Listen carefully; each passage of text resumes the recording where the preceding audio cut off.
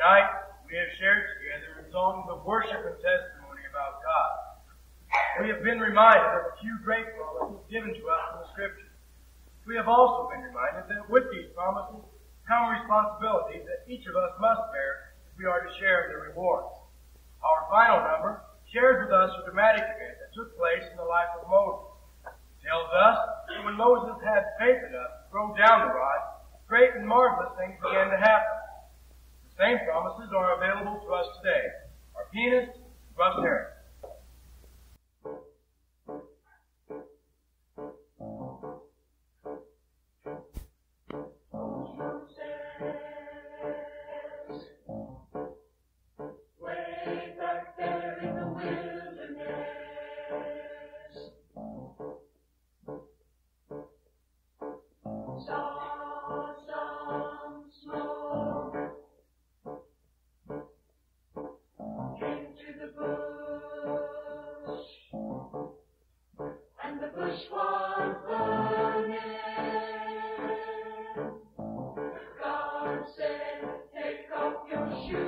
Moses.